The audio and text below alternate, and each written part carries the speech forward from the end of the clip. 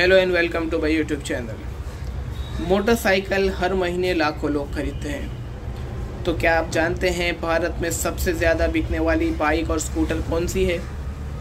आइए आज इस वीडियो में मैं आपको भारत में सबसे ज़्यादा बिकने वाली 10 बाइक और स्कूटर के बारे में बताता हूँ। पिछले महीने, यानी फरवरी 2023 में हीरो स्प्लेंडर ने टू व्हीलर में अपना जलवा बरकरार रखते हुए बाकी मशहूर बाइक और स्कूटर्स को पीछे छोड़ दिया।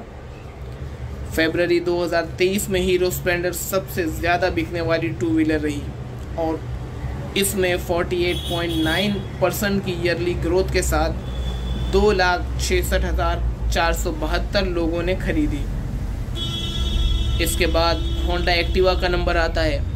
पिछले महीने होंडा एक्टिवा को 20 परसेंट की सालाना बढ़ोतरी के साथ एक लाख चौहत्तर हज़ार पाँच सौ तीन लोगों ने खरीदा।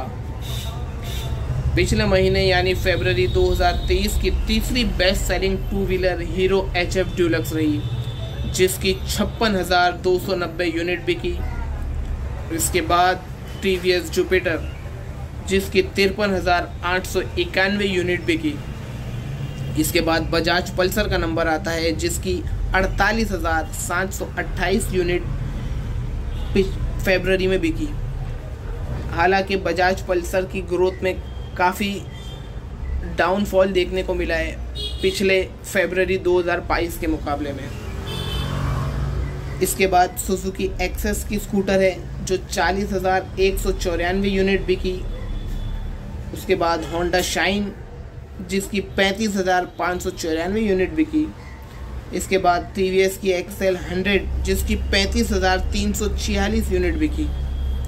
नौ नंबर पे आता है टी वी एस अपाची, जिसकी चौंतीस हज़ार नौ सौ पैंतीस यूनिट और आखिर में टी वी एस रेडर की तीस हज़ार तीन सौ छियालीस यूनिट बिकी।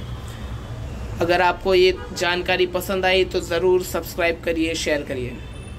Thank you keep riding and be safe और हेलमेट लगाना न भूलें।